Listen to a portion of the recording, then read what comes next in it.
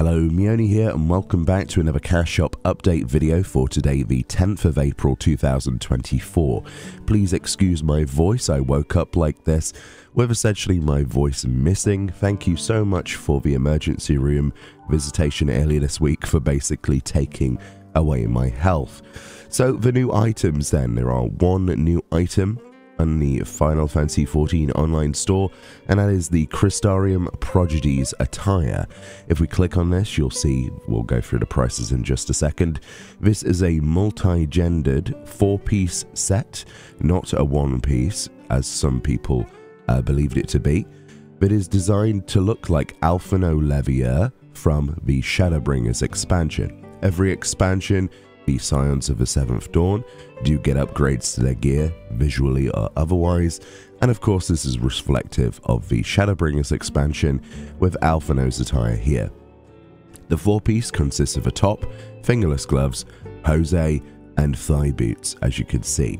They've actually taken special attention to show you the pictures of those individual items as extras, which is really, really nice.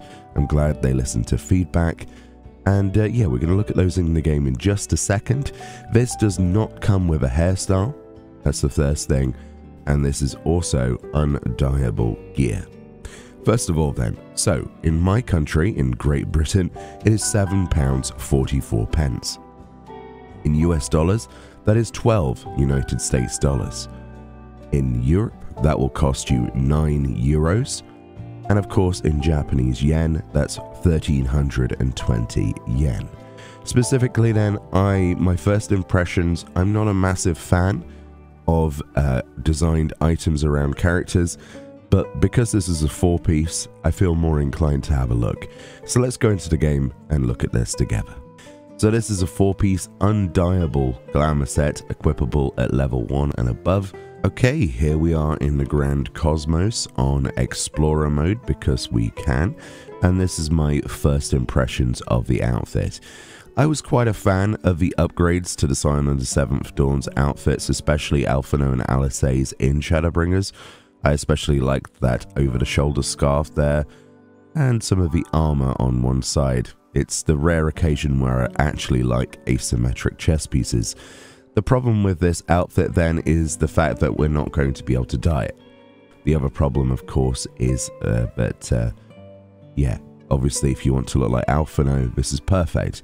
But let's see if we can take things off and have a look at them separately. So just like they did on the website, this then is what it looks like just with the gloves and the legs. In fact, let's turn off horrible depth of field. We don't like that effect whilst we're looking at things. So yeah, the actual arms could be multi-purpose. It's not something that necessarily screams Alphinaud when you look at it. The only problem is no dye options means you're going to have to want those particular colors and that particular texture. Uh, of course, with Dawntrail upgrading a load of things in the future, it's a bit of copium, but we can hope that things look completely different and more usable uh, in the future.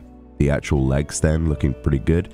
I never knew that Alphinaud had that belt buckle, actually, and a red siding to, to the underneath. I thought that was just on Alisaie's outfit, but it turns out there's a touch of red underneath the main chest piece on the legs from Alphinaud, which is really interesting. Not a bad pair of legs, honestly, but I think the real attention grabber for this will be the boots. So let's put those back on. So yeah, the boots are probably the thing I like the most, as is typically the case with many of these outfits, especially uh, outfits designed after NPCs. It's typically the ones I use the most from sets. Is it worth it just for the boots? That's going to be subjective to you and what you think about these. There are plenty of boots in the game that look like this.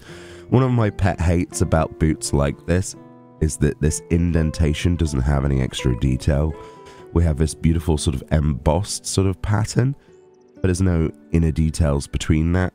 The only extra details we have are these buckles.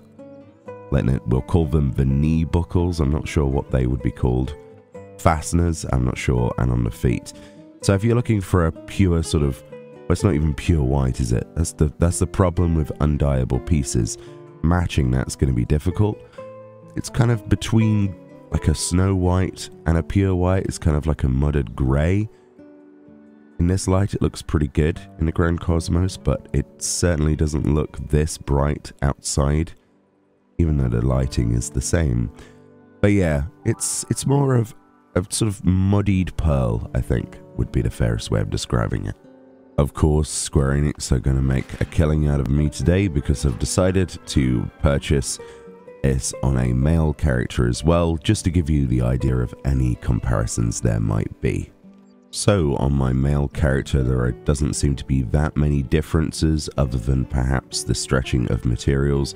You're more likely to see most differences in terms of the fabric and how much it covers if you were to play a Roegadyn or a Lalafell, great extremes either direction. However, I think they've done a fairly decent job in adapting it to both of the extreme sort of directions.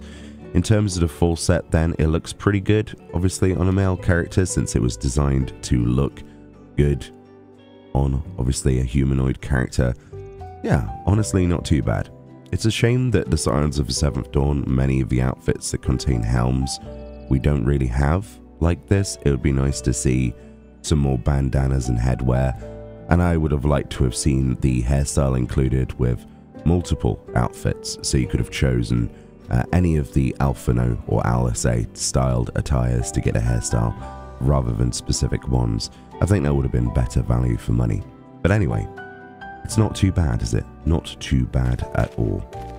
And if you want to look like Alphinaud Leveilleur, there's worse ways of doing it, I suppose. I still think, though, if you're looking for an outfit to actually customize, just based purely off of customization, this is not the direction I would go. There's plenty of items in the game that will give you a similar, if not better, effect than this.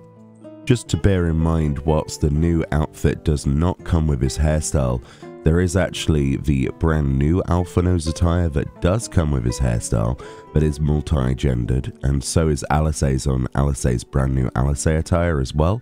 So if you wanted to get that instead, that comes with a hairstyle, it is a slight increase of money. It's called the brand new Alphinaud or brand new Alisaie's attire, also on the cash shop, so just bear that in mind. But of course, if we were to purchase it from the other outfit, this is what it would look like paired with the actual new outfit today. So yeah, it's pretty cool. And of course, um, that hairstyle does have some uh, obviously different root options and highlights. The outfit then, which is the subject of today's video, it's not too bad. It's not too bad. I value a four piece much more than I would a single piece. I really do not like it when characters have a one piece outfit. I think that it uh, detracts away from the idea behind glamour creation.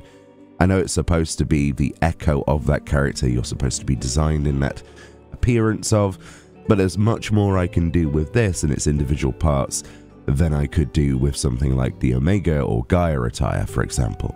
Anyway, let me know what you think about this, if you plan to pick up Alphinaud's attire today, and I'll see you all next time.